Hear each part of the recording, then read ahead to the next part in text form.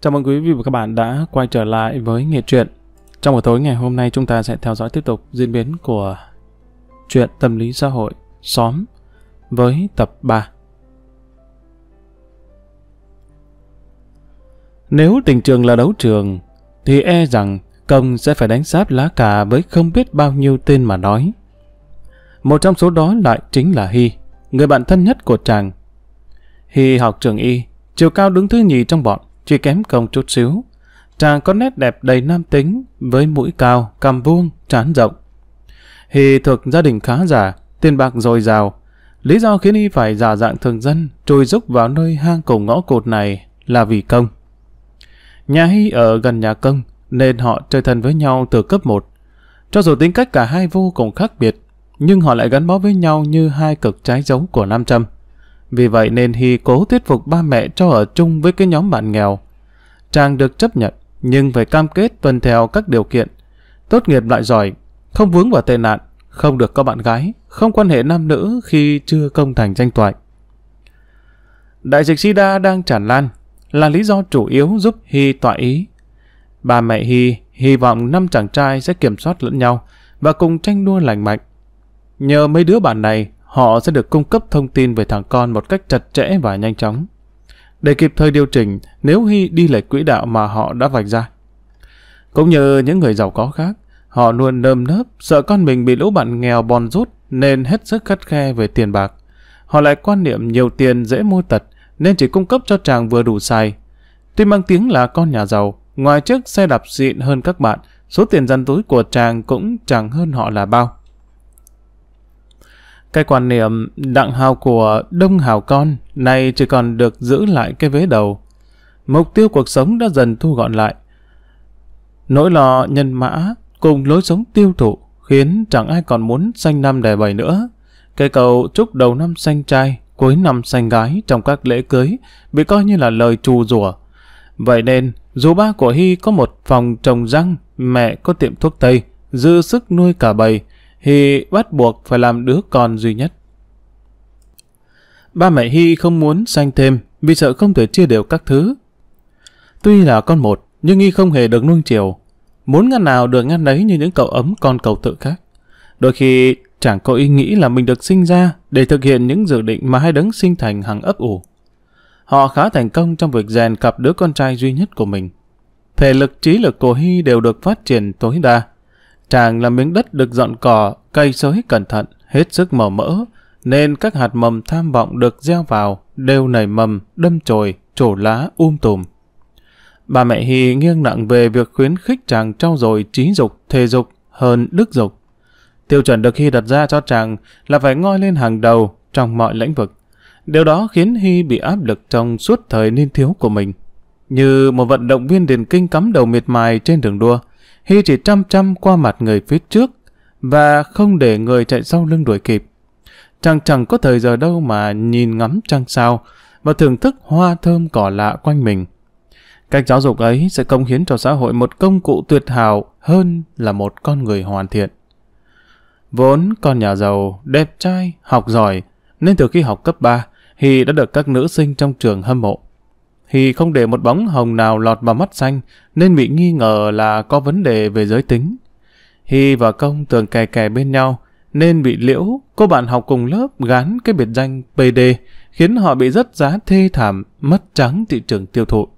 Trong khi Công chỉ đỏ mặt đính chính thì Hy nghiến chặt răng, mặt lạnh như tiền và quyết chí trả thù. Hy thực hiện bằng cách theo đuổi chinh phục Liễu cho bằng được. Nghe đầu, sau khi chứng tỏ cho cô ta thấy cái nam tính của mình rồi, có người khẳng định là họ đã ba chấm với nhau. Hy liền lập tức chia tay. Hành động ấy khiến Liễu suy sụp tinh thần đến bỏ học, còn Hy thì bị hầu hết đám bạn trong lớp tẩy chay. Điều đó chẳng ảnh hưởng đến việc học của Hy một chút xíu nào. Bằng chứng là Hy đậu tốt nghiệp với số điểm tối đa, bay một cái vèo vào trường Y. Tuy không đậu cao chót vót, nhưng cũng thuộc một trong những cảnh gần đọt. Xem thế cũng đủ biết, Hy là người không dễ để ai co mặt hay làm bẽ mặt. Có thể so sánh Hy với một cây dao bén ngọt được làm bằng một loại thép cực tốt, tùy mục đích sử dụng mà rất hữu ích hay vô cùng nguy hiểm. Huy có lẽ là người có tiết tố testosterone cao nhất trong nhóm. chàng thích cạnh tranh, ưa quyền lực và là người duy nhất đã thử qua trái cấm. Hy không lãng mạn như công, tình yêu của Hy hết sức trần tục. Hy bị lôi cuốn bởi Hà có ngoại hình hấp dẫn, bị kích thích tính cạnh tranh vì cô được nhiều người theo đuổi.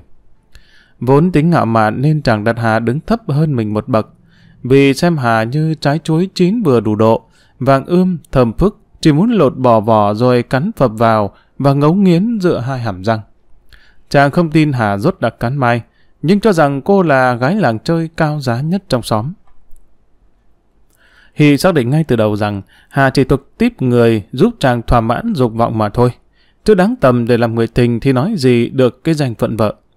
Hà đã nhận ra cái tính cách con được của Hy nên đối với chàng bằng thái độ nửa khinh thường, nửa khiêu khích.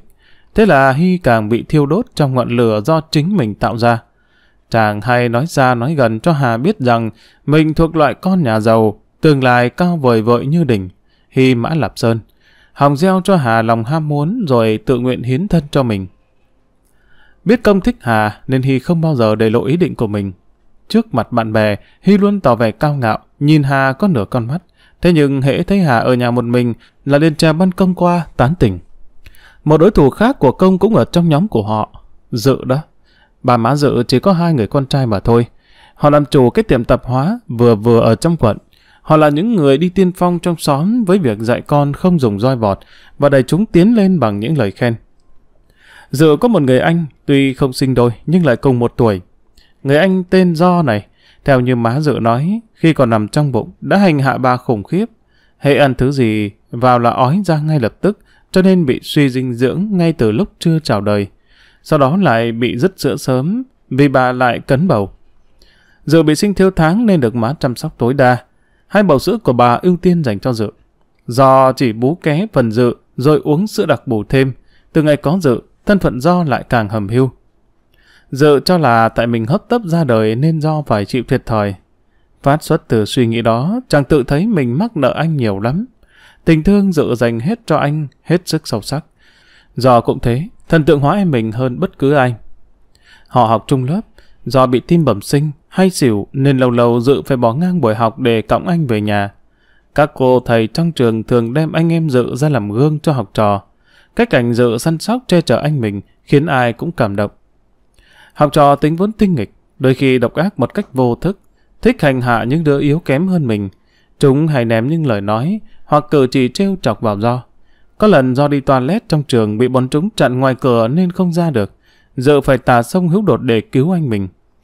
Kể từ đó Dự kèm theo do sát giạt ở mọi lúc mọi nơi để đối phó với bọn trẻ tai ác ấy. Dự cố rèn luyện thân thể thật khỏe và xin ba má cho đi học võ. Để bảo vệ anh, không ít lần chàng giáng cho bọn trẻ những cú đá, cái đấm tóe máu. Chúng bèn liên kết nhau lại để tấn công Dự. Chàng thường về nhà với quần áo rách bươm, mặt mày xây sát. Tuy bị thương nhưng Dự không hề nao đúng, với cái quyết tâm không để cho do bị dụng đến một sợi tóc. Dự dốc sức rèn luyện võ nghệ. Thế là cái hỗn danh độc cô cầu bại như tấm huy chương được gắn lên áo Dự. Còn người tạo ra huy chương, rồi bị những cái huy chương ấy đóng dấu lên họ. Dần dần Dự cho là mình có nhiệm vụ thế thiên hành đạo. Sẵn có cái sức mạnh và vài đường quyền lận lưng.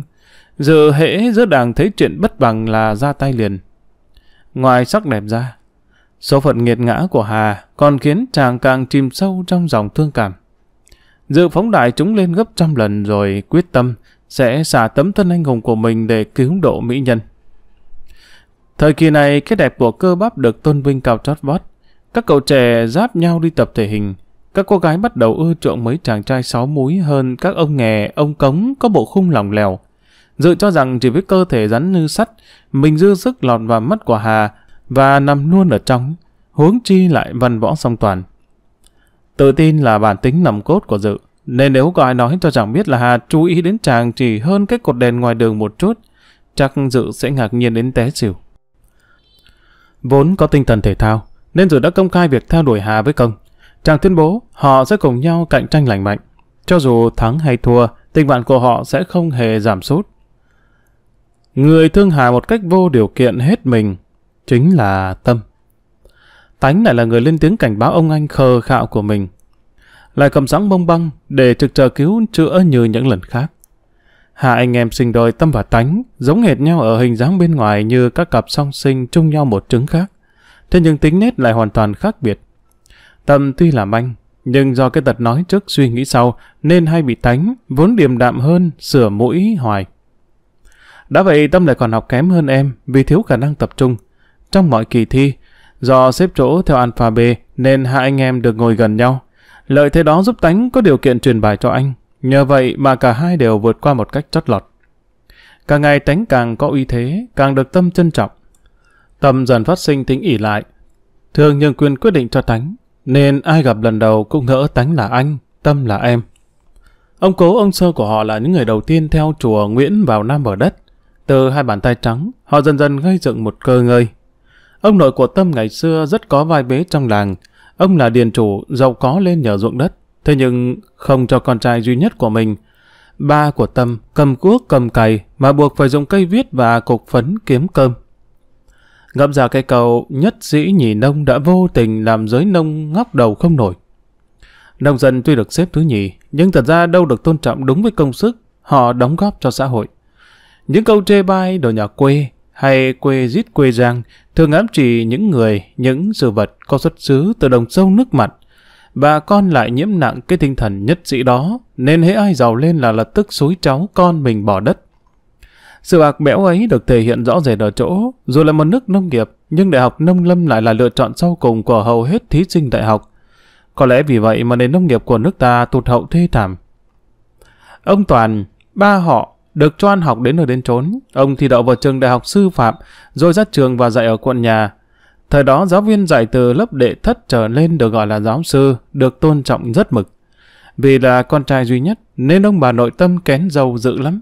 Họ cố tìm cho đứa con cầu tự của mình một người vợ, chẳng những công dung ngôn hạnh vẹn toàn, mà còn phải môn đăng hộ đối nữa. Thế nhưng, những chỗ ông cha ưng bụng thì ông con không vừa ý, nơi ông con thích thì ông cha chẳng ưa, rằng qua qua lại đến khi ông nội bà nội tâm bị tai nạn rồi qua đời một lượt vẫn chưa được thỏa nguyện. Khi ông nội còn sống, thường thổ lộ với mọi người cái tâm nguyện của mình. Đó là ít nhất một thằng cháu trai nối dõi, để không bị tổ tiên đang chờ sẵn ở suối vàng của trách. Vì vậy nên khi ông chết, mắt cứ mở, bút hoài không khít, bà con đều đổ thừa tại thằng con chưa có vợ nên ông cha chẳng yên tâm nhắm mắt. Ngay sau khi xả tang, ông Toàn kết hôn lập tức với một cô giáo dạy trung trường kém mình hơn một con giáp. Cô ta là cháu ngoại của người lực điền chăn trâu cho ông nội ngày trước. Mẹ họ mang mặc cảm tự ti nên tôn thờ chồng như lãnh chúa. Bà không đẹp lắm, nhưng rất có duyên, tính nết hiền hậu ôn nhu. Làm vợ trong một gia tộc theo đúng tập tục trong Nam, nên bà chịu rất nhiều áp lực. Ông lại là người coi sóc cái phủ thờ của cả dòng họ, nên khi bà mang thai cả hai đều hết sức vui mừng. Họ cùng ngày đêm khấn khứa, cầu xin ơn trên, ban cho một đứa con trai đầu lòng làm vốn. Khi hai người con lần lượt trôi ra đều là gái, bà ngán ngược hết muốn sành nữa. Tính ngưng luôn, nhưng ông nhất định không cho đóng máy. Ông dựa vào tâm nguyện của ông nội mà năn nỉ bà hãy chiều ông, sản xuất thêm lần nữa. May mắn thay, sản phẩm sau cùng của bà là hai đứa con trai sinh đôi. Khỏi phải nói là họ mừng như thế nào. Thế nhưng trong cái may, lúc nào cũng có cái rủi bám theo. Vì có hơn hai con nên ông và bà bị hạ tầng công tác. Ông đang dạy cấp 3, hạ xuống cấp 2. Bà đang dạy cấp 2, tụt xuống cấp 1. Ông bất đắc chí nên bỏ dạy. Đất vốn bao dung, mở rộng vòng tay đón ông quay lại. Bà ước mơ được đi làm cô giáo từ lúc nhỏ, hơn nữa cũng muốn có những khoảnh khắc thoát ra khỏi sự ràng buộc của chồng, nên năn nỉ ông cho mình tiếp tục bám nghề, lấy lý do để tiền kèm cặp con cái sau này. Trách nhiệm của bà từ đó nặng nề hơn, cũng may chỉ đến lớp một buổi trong ngày, nên có thời giờ ra đồng cùng chu toàn việc nội trợ. Ông không có kinh nghiệm, lại không yêu nghề nông, nên mấy năm trời bỏ công sức vào ruộng rẫy chỉ lỗ hoặc may lắm là hồi vốn. Năm nào may mắn trúng mùa thì lại bị ép giá sát ván. Để hai cậu quý tử được ăn học tới nơi tới trốn, hai người con gái đầu phải bỏ học góp sức kiếm tiền. Ngôi vườn được hai chị em trồng thêm rau cải, bầu, mướp để hái bán. Cả bốn người đều dốc sức trau dồi cho hai viên ngọc quý tâm và tánh, sao cho chúng lên nước bóng ngời để thiên hạ phải trói mắt. Người ta thường nói trong hai đứa con sinh đôi, hễ đứa này dư thì đứa kia thiếu, và cái đứa bị đá băng ra trước thường bị lép vế hơn cái đứa ra sau. Điều này ứng dụng ngay chóc vào trường hợp của hai anh em họ. Tâm hấp tấp bao nhiêu thì tánh thận trọng bấy nhiêu, tâm hơi hợt thì tánh sâu sắc, tâm miệng đít vịt xiêm thì đánh là con cóc mà hệ nghiến răng một cái là ông trời tối tăm mày mặt. Tánh thấy tâm hay thử người nhìn Hà, vẽ đủ tư thế của nàng trong quyển thập thì giàu hết biết. Tánh nói xa nói gần cho tâm hiểu là chàng chẳng bao giờ lọt vào mắt của Hà đâu. Và cha mẹ mình cũng không thể nào chấp nhận một người con dâu làm cái nghề bán trôn nuôi miệng. Thế nhưng chẳng thấy ngân tâm bước vào tử huyệt. Tánh thở dài, nhìn gương mặt bèo nhèo vì bị ái tình hành hạ của anh mình một cách chán nản.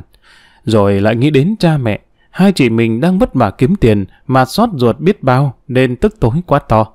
Trời ơi, tội nghiệp cho cha mẹ, chị hai chị ba làm đến thúi móng tay, rồi dành dụm từng đồng từng cắc để nuôi anh ăn học. Họ trông cho tụi mình đỗ đạt, nên người để tự lo thân, để họ tự được nghỉ ngơi một chút. Tội nghiệp trong nội dưới suối vàng biết mấy.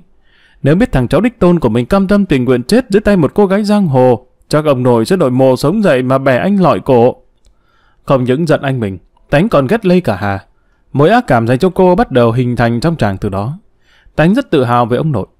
Vốn có tâm nguyện khôi phục cái quá khứ vàng son của gia đình, nên Tánh rất chăm chỉ học hành, không lãng phí thì giờ vào việc theo đuổi các bóng hồng. Tánh nhớ nằm lòng lời mẹ dặn, làm con trai, phải đặt sự nghiệp lên hàng đầu. Con bà công thành danh tọa rồi, thì tụi con gái nó đứng xếp trước mặt tha hồ, muốn chọn đứa nào cũng được. Thành đã thấy bao nhiêu cuộc hôn nhân lấy nhau vì tình rồi thất vọng và chia tay nhanh chóng. Chàng tự hứa với lòng, chàng sẽ cưới trước rồi yêu sau cho chắc ăn. Tánh gần gũi với mẹ nhiều hơn cha. Sự hy sinh của mẹ khiến Tánh quyết tâm học tập hết mình để sớm đền bù lại công lao trời biển ấy. Chàng muốn đem lại niềm vui cho mẹ thật nhanh và thật nhiều. Mỗi lần khi hai mẹ con trò chuyện, chàng đã tâm sự. Sau này con sẽ để cho mẹ chọn con dâu. Mẹ cười. Tiêu chuẩn của mẹ khác con. Người già nhìn bên trong, người trẻ nhìn bên ngoài.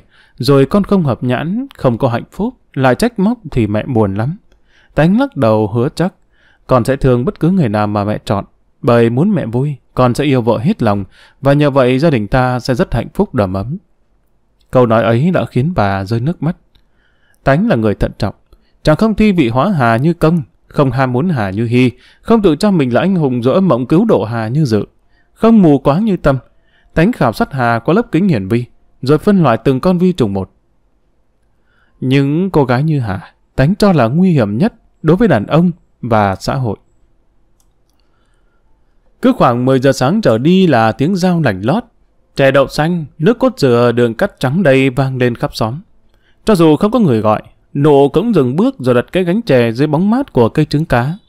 Từ ngày năm chàng sinh viên chuyển đến, Nộ dự ý nên không còn ngồi ké dưới mái hiên của căn nhà hà trọ, đối diện lớp bụi đời. Nộ tháo cái nón lá xuống, quạt phần phật để nhanh chóng làm khô những giọt mồ hôi trên mặt. Hai cô gái cao cao gầy gầy như nhau từ từ đi tới. Nộ rút mấy cái ghế nhỏ dắt quanh gióng ra, lau sơ sơ rồi đặt trước mặt mình. Họ biết nhau rành quá, nên cô chẳng cần hỏi han mời mọc, thản nhiên múc chè vào chén đưa cho khách. Huê, cô gái có mái tóc ngắn và làn da nâu, đưa bàn tay với năm cái bóng sơn trắng ra cầm chén chè, rồi nói. Sao mày hồng đấu chè khác, ăn quanh năm suốt tháng cái món chè đậu xanh hoài, ngán thế bà cố. Nụ cười.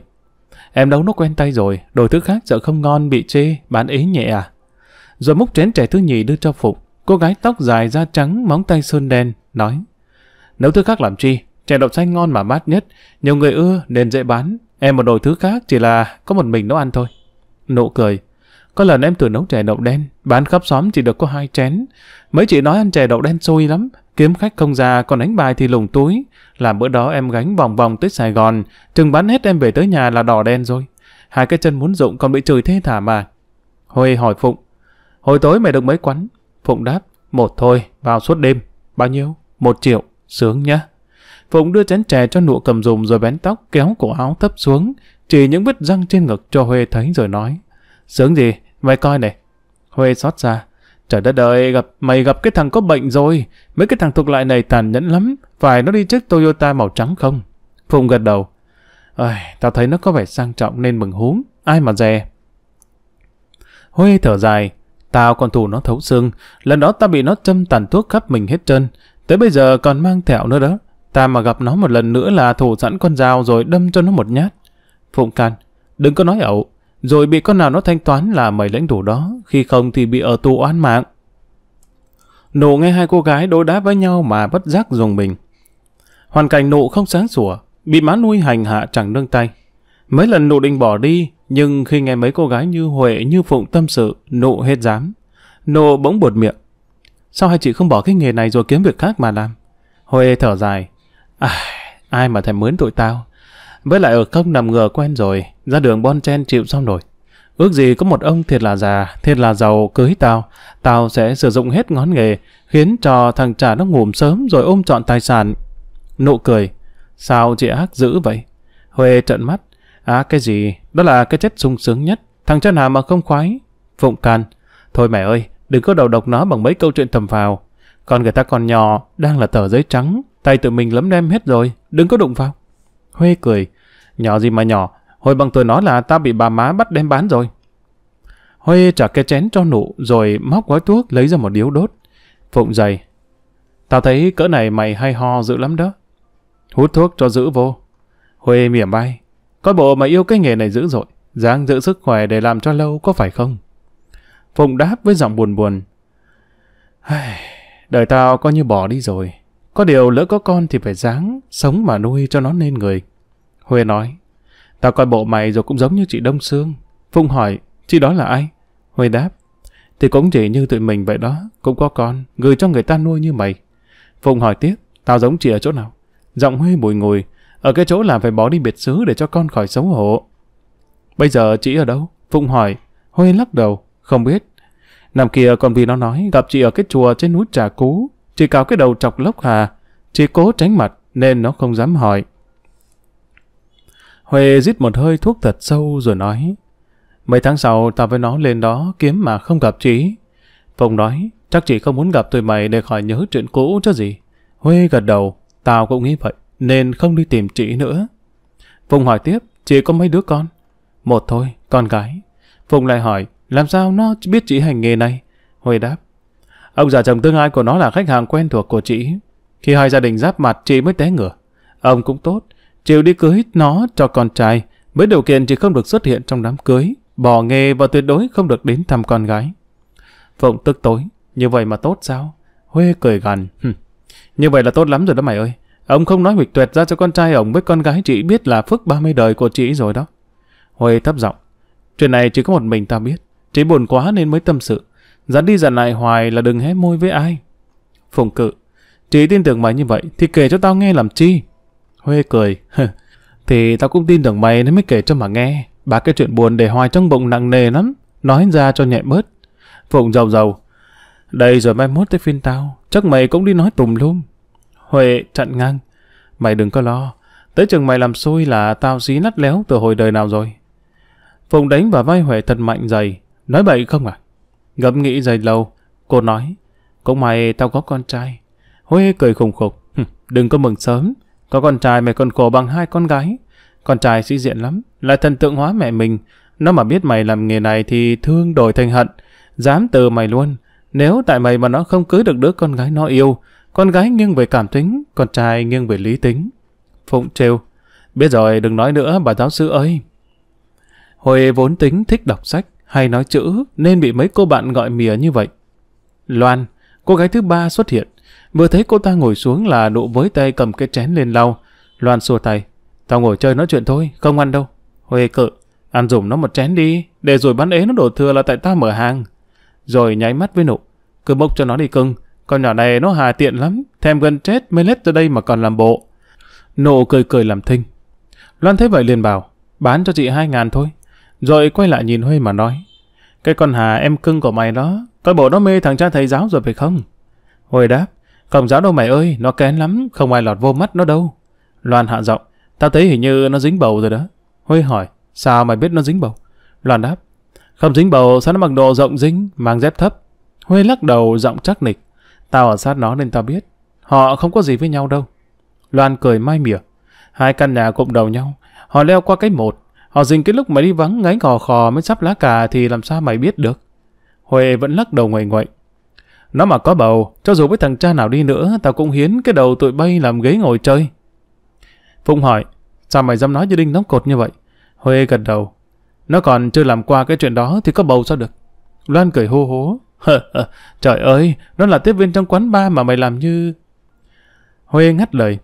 Con nhỏ này nó ngược đời hơn ai hết. Tao thấy nó ăn mặc sexy như vậy. Tưởng đâu là lót dâm, với cả thuộc loại dữ. Chừng đụng tới mới biết là nó sợ chuyện đó tới nổi ra gà, Nó có võ nghe tụi bay. Phụng hỏi, võ gì? Huê lắc đầu, tao không biết. Nhưng giỏi lắm. Mấy lần tao với con Lý bất tình đình xông lại ôm rồi đè nó xuống. Nó bước ra cái một, còn làm tay tao đau muốn chết. Nó năn nỉ dạy tao hoài mà tao không thích nên không chịu học. Loan trề môi. Nó con nành có vuốt, mà mày nói nó còn trinh làm tao mắc cười quá. Hôm bữa chính tay tao nghe nó mời mấy thằng xin ăn, ý lộn, sinh viên mở hàng, còn đòi cho trả góp nữa kìa. Huê cười. con nhỏ đó hay tỏ ra làm ra vẻ dữ dằn lắm. Nó nói cách phòng thủ tốt nhất là tấn công, bởi vậy nó đổi chỗ ở, chỗ làm liền xoành xoạch. Hế ở đâu xém lộ cái cốt cọp giấy ra là nó vọt liền. Loan lắc đầu. Mày ăn bổ mê thuốc lú của nó rồi, nên nó nói cái gì cũng tin. Chơi lửa là phải phòng tay, tao dám chắc là nó đã rách te tua, hồng trưng còn hơn cả tụi mình nữa. Huê tức tối. Tao hỏi tụi bay này, vậy chứ hai đứa mày làm cái chuyện đó là vì thứ gì? Phong đáp, ngày xưa thì vì tình, còn bây giờ thì vì tiền mà thôi. Loan đáp, tao thì 100% vì tiền. Huê thở dài, con nhỏ này nó không cần tiền mà cũng chưa có tình, nó không xài tới cái vốn tự có là chuyện đương nhiên. Loan gặn, vậy nó lăn lộn ở trong mấy cái bà, ở cái xóm này để làm chi cho mang tiếng. Huê đáp, nó đi tìm người. Nó tìm ai vậy, đàn ông hay đàn bà? Phùng hỏi, Huê đáp, đàn bà, hình như là chị ruột của nó.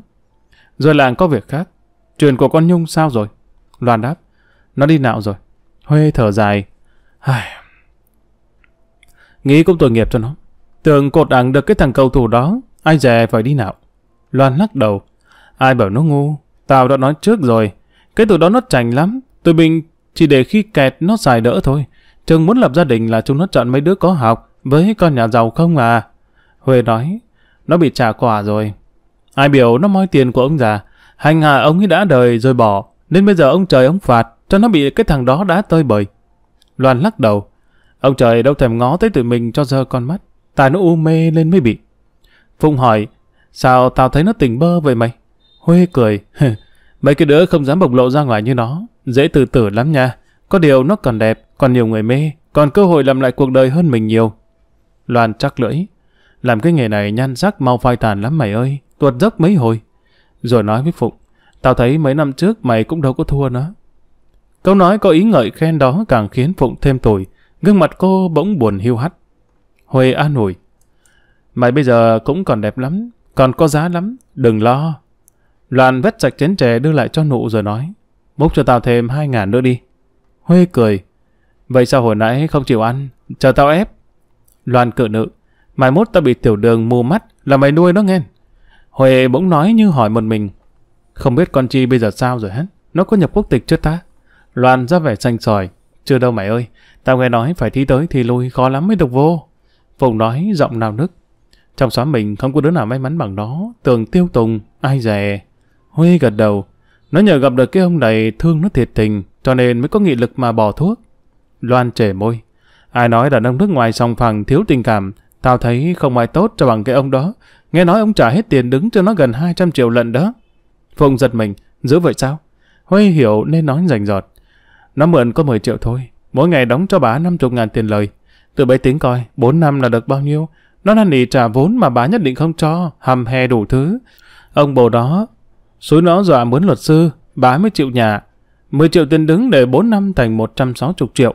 Tôi bấy nhớ nha, hễ bà sắp tới là tránh liền, để bà dụ là chết. Loan cay cú.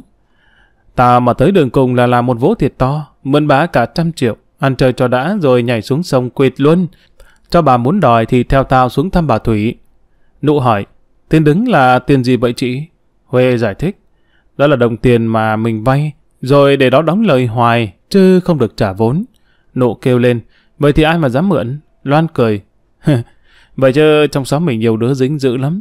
Con Hằng khi bị sida, từ từ chết, còn thiếu con mẹ bày cả bốn năm chục triệu. Nghe kể lại cái đám ma đó, bà cầm cây nhang đốt rồi nói to. Tiền con nợ má, má cho luôn đó. Thế rồi, cái tàn nhang đỏ rực rớt trên tay làm bà la trói lói. Từ bây để ý coi, trên lưng bàn tay trái của bà ấy còn cái thẹo đó. Chờ Loan ăn xong, Huệ móc túi trả tiền cho cả ba rồi nói. Thôi, đi về, để cho con nụ nó còn đi bán.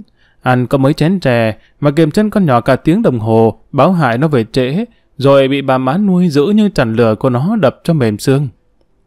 Họ đứng lên một lượt, Loan bẹo má nụ, cô nói. Cưng đẹp gái quá trời, còn mân mởn đào tơi như vậy mà giờ mưa dại nắng làm chi cho khổ cái thân. Cỡ như mày là kiếm tiền triệu triệu chứ đâu có ít. Đã phước cái gánh chè này đi, rồi đi theo mấy chị cho sướng. Đừng có yêu nghề như tụi tao, làm vài tháng kiếm tiền làm vốn rồi nghỉ. Nếu may mắn gặp người tốt thì làm vợ nó luôn. Huê đấm vào lưng Loan một cái thật mạnh rồi nói, mày xuống nó đi làm, bộ không sợ thất đức hay sao? Phùng thở dài, ai, ta cũng nghĩ như nó vậy, tính làm nhiều lắm là một năm, đâu rẻ dính chấu tới tận bây giờ. Rồi khuyên nụ, cái nghề này vô thì dễ mà ra thì khó nhất, đừng có tin lời nó. Huê nói thêm, đừng nghe cái con quỷ này suối bậy nghe mày, nó khùng mà ác nữa đó. Loan đáp, tao thấy cái thần con nuôi không ra con nuôi, con ghẻ không ra con ghẻ của nó, trước sau gì cũng bị bán đứng thôi à, rồi cũng lâm vô cái cảnh cũng liều nhắm mắt giang chân như tụi mình thôi. Ngu sao để cho người ta bán, tha mình bán trước cho đỡ tức. Chờ ba người họ đi khuất rồi, nụ mới đặt cái gánh lên vai, uể oải bước đi.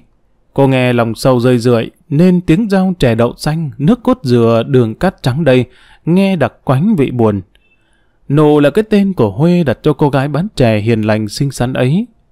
Lần đầu tiên tên gánh chè tới cái xóm này là nụ gặp Huê trước nhất.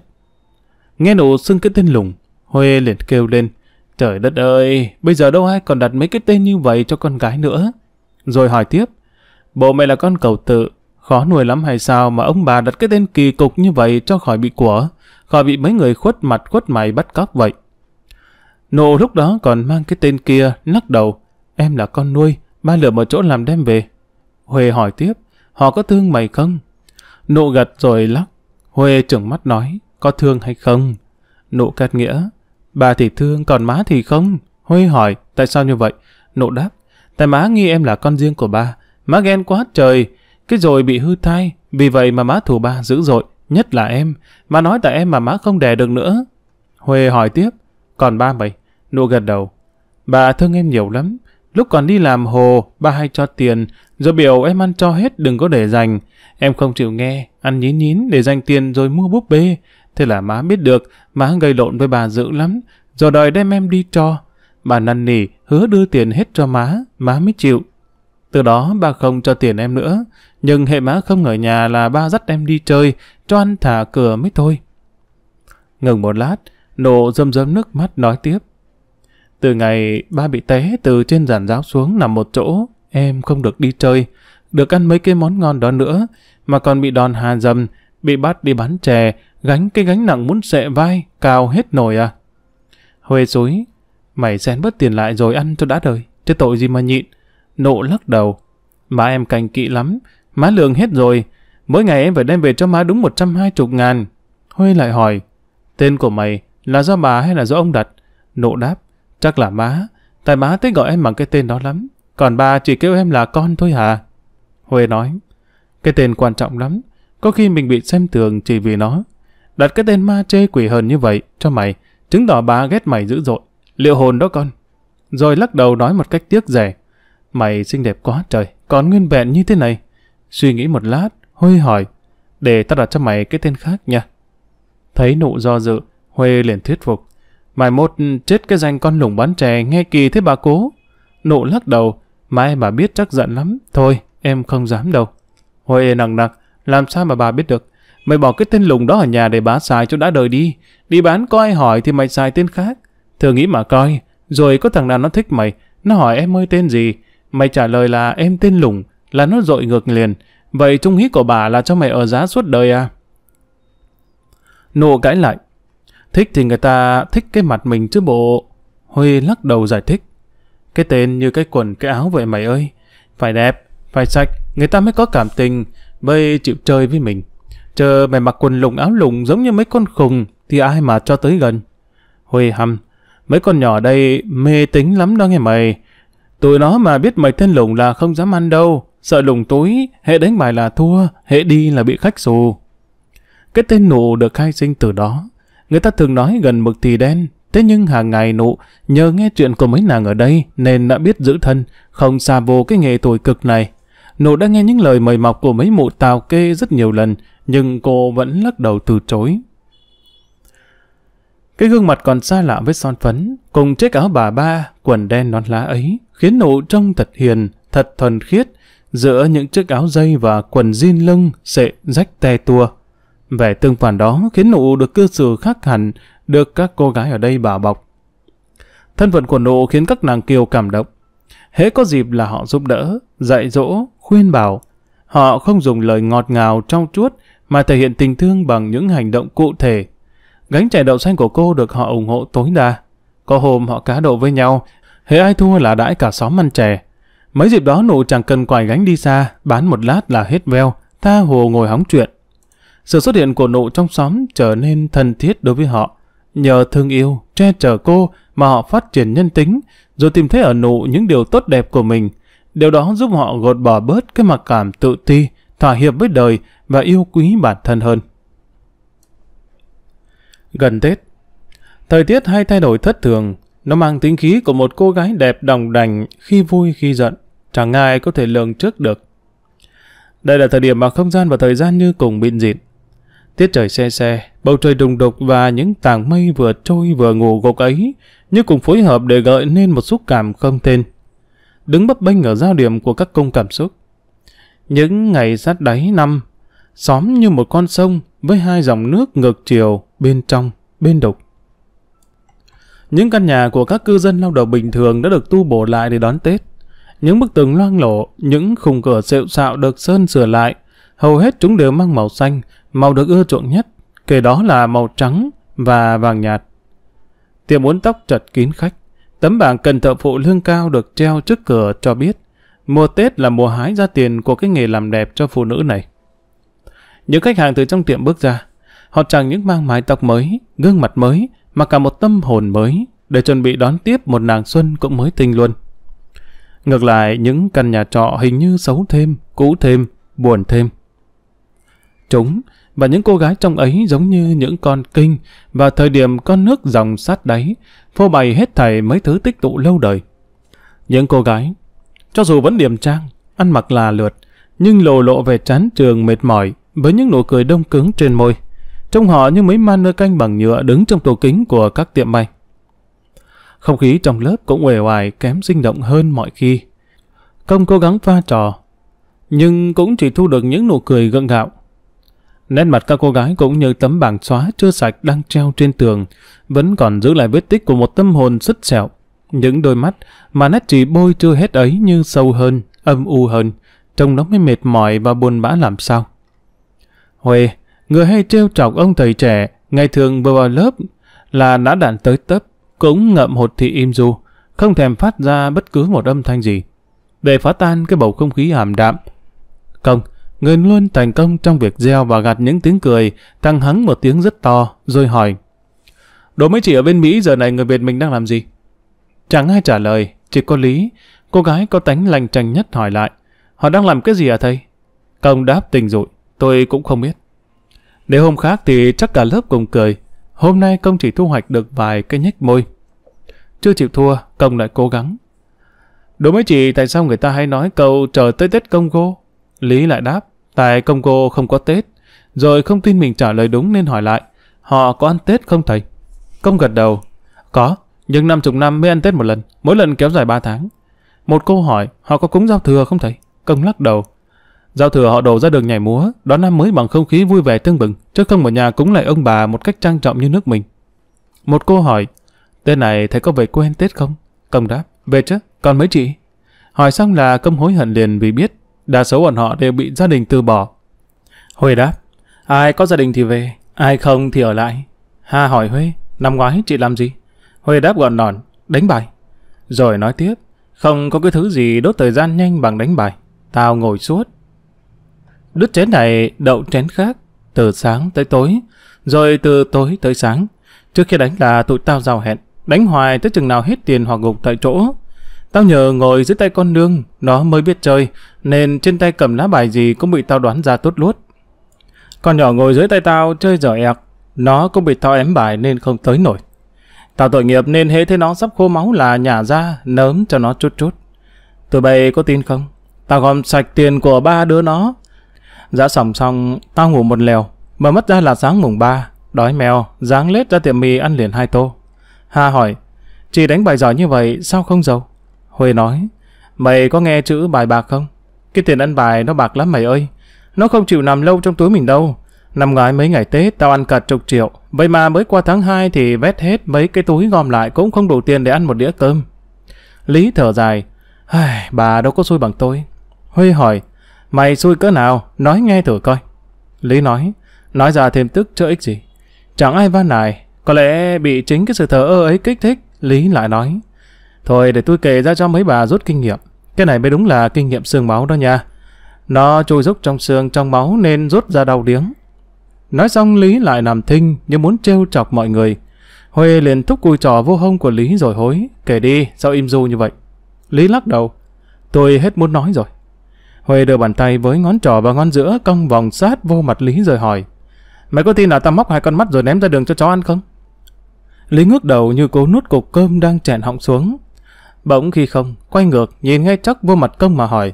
Thầy có biết tại sao tôi vô đây học không? Công cười, chắc chỉ muốn học tiếng Anh để đổi đời. Lý lắc đầu. Tôi sợ chữ từ hồi nhỏ lận. Tôi vô đây với một mục đích là phá cho thầy sập tiệm. Công ngạc nhiên. Tôi làm cái gì mà chị ghét dữ vậy? Lý không đáp. Cô bắt đầu câu chuyện của mình. Năm kia, tôi có quen một thằng trước Tết, độ hơn một tháng. Nó tự xưng là sinh viên. Nó rất trẻ, đẹp trai, tướng tá như ông thầy của mình. Cái mặt cũng hiền khô nên tôi tin răm rắp. Nó nói có căn nhà ở Bảo Lộc, dù tôi về đó ăn Tết. Tôi đồng ý. 29 nó chở tôi bằng xe gắn máy đi vòng vèo cả ngày trời mới tới một căn nhà nằm trong cái vườn trồng cà phê. Nhà đẹp lắm, tiện nghi đầy đủ. Nó biểu tôi ở nhà để nó đi mua đồ về cúng giao thừa. Tôi mừng mừng, nghĩ bụng năm nay mình ăn cái Tết ra Tết hẳn hoi. Lát sau nó về với bốn thằng bạn nữa. Thấy năm thằng đều đi tay không tôi hỏi, đồ cúng đâu? Nó nói trễ quá, chợ dẹp rồi. Rồi giới thiệu mấy người vừa đến nói là bạn học. Tôi nói đều trẻ măng nên tôi hơi xem thường. Tôi có chuẩn bị mấy mì gói với một đòn bánh tét nên nói. Thôi khỏi cần, để tới giao thừa mình nấu nước cho một bình trà tét bánh cúng cũng được. Thế rồi tôi nó rủ nhau đánh bài. Chúng moi trong túi ra mỗi đứa một cọc tiền rất to, khiến tôi tối mắt. Thế là nhảy vô, giành một tụ. Ban đầu thắng liên tục, sau đó chắc chúng thông đồng với nhau, nên đánh bài gì tôi cũng thua hết. Tiền hết tôi móng nóng, tháo dây chuyền cà rá ra chơi luôn. Cuối cùng không còn thứ gì, tôi đem luôn cây nhà lá vườn ra đặt. Nói thế đó Lý dừng lại, không ai dám mở miệng hỏi bởi đã đoán trước được đoạn cuối. Lát sau Lý kể tiếp. Ngay tụi nó nói chuyện tôi biết chúng đều là con của mấy thằng cha đại gia. Cái bọn này còn nhỏ mán chơi sành sỏi, kiểu gì cũng biết. Tôi biết mình đã rơi vào bẫy, tụi nó ra tay vùi dập tôi không thương xót. Tới mùng năm, tôi lết về Sài Gòn với cái thân tàn ma dại. Vừa hết tiền, vừa sợ dính bầu, nhất là sợ bị nhiễm sida, bởi liên tục phục vụ cho tụi nó để trả nợ thua bài nên áo mưa đem theo đâu có đủ. Huê dùng mình, Ai, ta thuộc lại châu già không sợ giao phay mà nghe mày nói thì cũng ê hết hai hàm răng à. Công tức tối, sao Lý không đi thưa? Lý cười khổ, thưa cho bị còng đầu hả?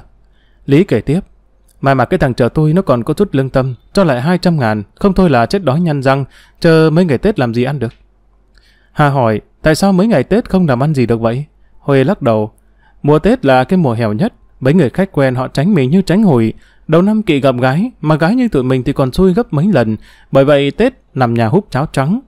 Huê hỏi lại Hà, năm ngoái mày ăn Tết ở đâu? Hà đáp, Campuchia. Huê gặp, thiệt không? Qua bến làm gì? Đuổi theo một người, Hà cười. Công bỗng nghe nhói trong ngực một cái. Huê hỏi tiếp, gặp không? Hà lắc đầu, buồn thiêu, không. Hà bỗng hỏi công, ngày mấy thầy về quê vậy? Công đáp, 27. Phụng nói, thầy về nhà chắc ba má chị em thầy mừng lắm hen. Công đáp, Tôi chỉ còn má thôi. Ba chết khi vừa có tôi, nên không có anh chị em gì hết. Lý nói, thầy sướng quá, khỏi bị ba đánh, tôi mới khổ nè. Bị ông già tía say rượu giật đánh hoài. Hồi nhỏ tôi cứ ước mình là con mồ côi cho đỡ khổ. Phụng nạt, đồ khùng, đồ bất hiếu. Con mồ côi làm sao sướng bằng mấy đứa con đầy đủ cha mẹ. Hà buột miệng, có đứa còn đầy đủ cha mẹ mà còn khổ hơn con mồ côi nữa đó. Công nhìn Hà đăm đăm. Đôi mắt Hà thật là buồn, lại còn giống hỏi nữa hình thành trong đầu chàng. Câu nói đó đâu có thể có trên môi của những người mồ côi cả cha lẫn mẹ như Hà. Như vậy là ngược lại. Công bỗng nghe thương Hà quá. Bởi còn gì đau xót hơn là làm con mà phải kết án cha mẹ mình. Câu chuyện của Lý khiến không khí càng nặng nề. Công bận suy nghĩ nên không cố tìm đề tài để khuấy động. Nét mặt ù rột, giọng nói chùa xót của Hà khiến chàng không yên tâm, nên cứ hướng mắt nhìn Hà như dò hỏi. Điều này, ngày thường chàng rất cố tránh, bởi biết cả chục cặp mắt đang theo dõi họ sát sao. Cả cô gái này quá dày dạn, biết rất rõ là Công và Hà đang ở vào giai đoạn tình trong như đã, mặt ngoài còn e, cho nên cứ rình dập miết. Quý vị và các bạn thân mến, chúng ta vừa theo dõi hết tập 3 của truyện tâm lý xã hội xóm. Hẹn gặp lại quý vị và các bạn trong tập 4. Còn bây giờ Đình Duy xin chào. Chúc quý vị khán thính giả có một đêm ngon giấc.